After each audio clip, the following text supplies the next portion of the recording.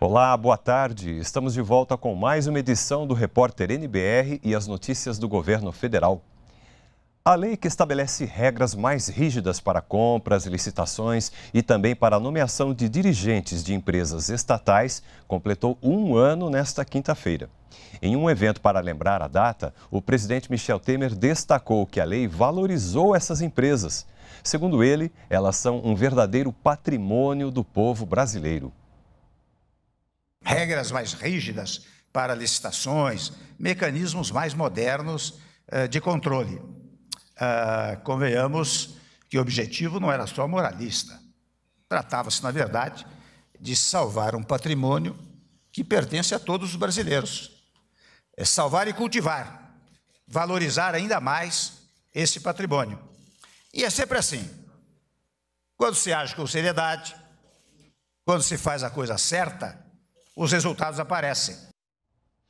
Ainda na cerimônia no Palácio do Planalto, o ministro do Planejamento, Diogo Oliveira, mostrou os resultados que a Lei de Responsabilidade das Estatais apresentou neste ano. Essas ações de gestão, essas determinações que o presidente nos dá cotidianamente de agir de maneira é, diligente, eficiente na gestão das empresas, nos traz resultados efetivos e concretos que eu passo a apresentar. Em primeiro lugar, o resultado financeiro das empresas, das principais empresas, que no primeiro trimestre de 2016 foi de um somatório de apenas 500 milhões eh, de reais, passou nesse primeiro trimestre de 2017, terminado em março, para 10 bilhões e 500 milhões de resultado, um crescimento de 2 mil por cento no resultado das empresas. O valor de mercado das empresas teve um crescimento vigoroso, comparando também o primeiro trimestre com o, com o primeiro trimestre, para não haver nenhuma, nenhum efeito de sazonalidade, nós tivemos um crescimento de valor de mercado da Eletrobras de 144% do Banco do Brasil, 70%, e da Petrobras, 54%. Outra medida importante, o endividamento das empresas caiu de um pico no final eh, de 2015 de 544 bilhões de reais para 437 bilhões de reais ao final de 2016 e essa tendência de queda permanece ao longo de 2017 e com plena certeza nós terminaremos o final de 2017. Esse número ele é atualizado anualmente. Nós teremos ao final do, deste ano um endividamento ainda menor. Hoje também o presidente Michel Temer participou da abertura da 15ª Conferência dos Ministros da Justiça da Comunidade dos Países de Língua Portuguesa, a CPLP. Nessa reunião, o ministro da Justiça, Torquato Jardim, assumiu o comando da conferência. O presidente Temer destacou a importância da colaboração entre os países membros da CPLP e falou sobre temas que devem ser tratados na reunião.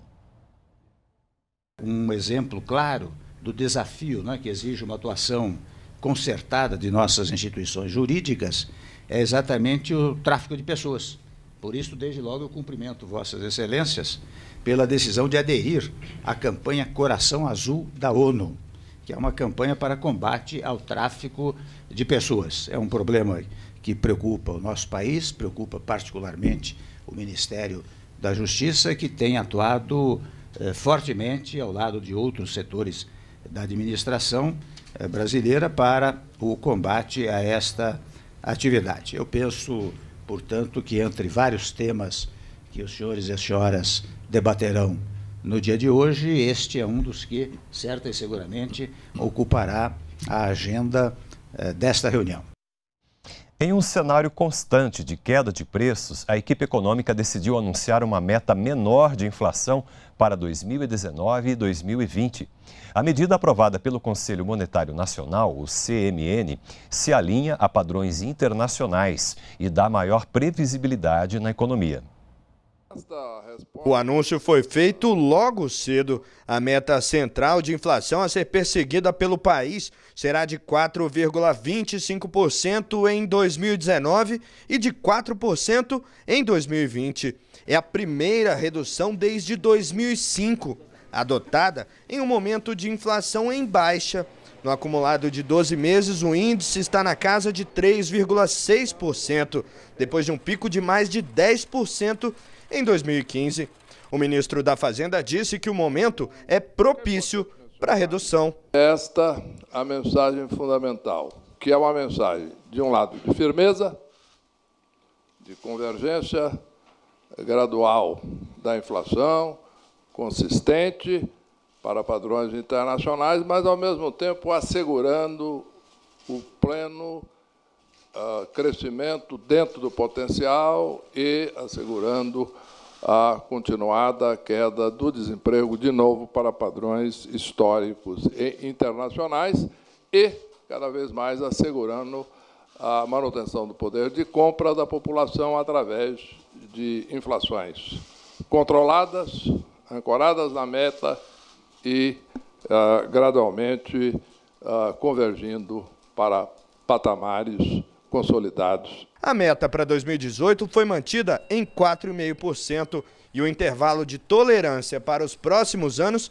segue de 1,5 ponto percentual para cima ou para baixo. Ou seja, a meta será cumprida se a inflação ficar 1,5 ponto percentual acima ou abaixo do centro determinado. Todas essas ações, evidentemente, visam um objetivo único e comum, que é o objetivo de garantir para o Brasil a retomada do crescimento em, em nível sustentável a longo prazo né, e permitir que haja, em decorrência disso, a geração de emprego, de renda e a melhoria da qualidade de vida da população brasileira. O Conselho Monetário Nacional também informou que, a partir de agora, a meta de inflação será definida e anunciada com três anos de antecedência e não mais dois anos antes como acontecia até agora.